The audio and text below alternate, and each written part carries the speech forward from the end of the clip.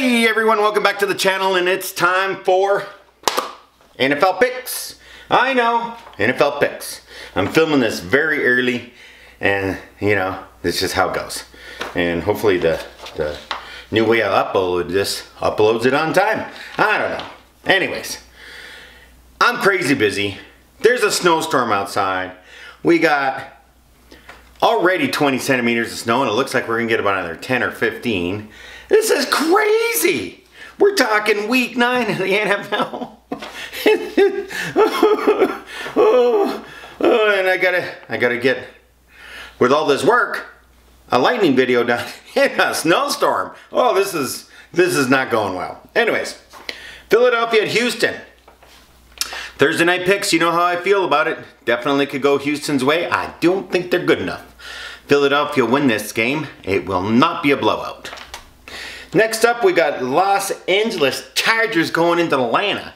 And everybody's on the Atlanta bandwagon. Atlanta's cost me some wins this year. But I'm going to go with the Chargers, even though they're not a very good team. But I think maybe they'll get up for this one. Who knows? Miami going into Chicago. And everyone's going against my Bears. But I got Bear coffee. Mmm. Mmm, mmm, mmm, that bear coffee's good. I'm going with the Bears because it's at home.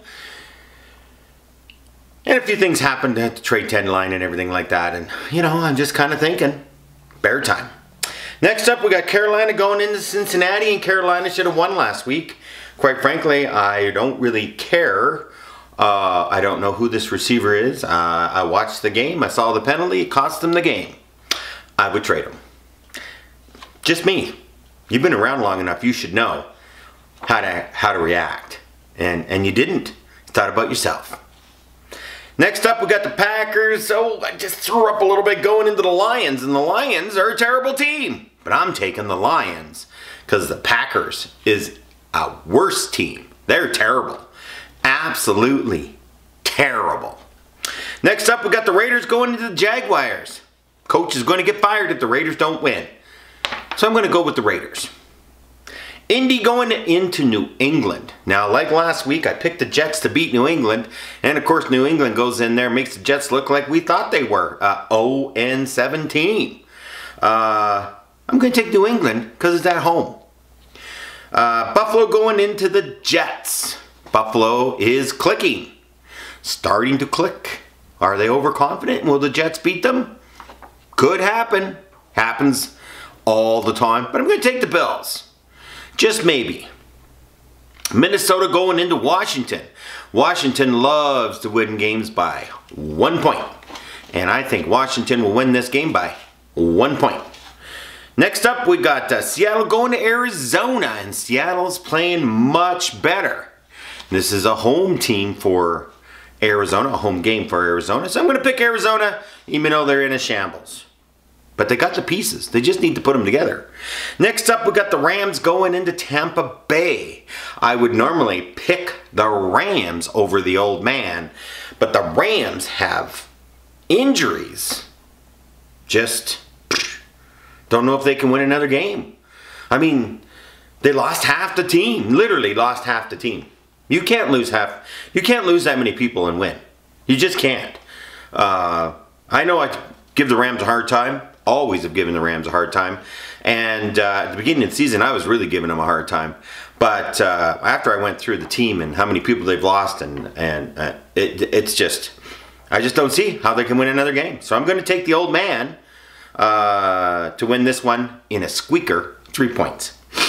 Tennessee going into Kansas City, and everybody's going to take Kansas City to win because it's a home game. And I got to tell you, I should be picking Kansas City on this, but I'm not. I'm going to take Tennessee. It's stupid, but I'm going to do it. Next up, we got Baltimore going into New Orleans. New Orleans won last week. Woo-wee! New Orleans is back. Uh, no, I'm going to take Baltimore. And uh, again, it's not going to be a big uh, blowout game. I really don't think so. I think it's going to be very, very close and come down to the fourth quarter. But I'm going to pick the Ravens. They, they, uh, stole our linebacker from uh, Chicago, and it will really help their defense. Uh, the Ravens are not as good as you think they are. At least I don't think they are. Um, they got a lot of things they got to fix fix up, but uh, I'm gonna take the Ravens in this one.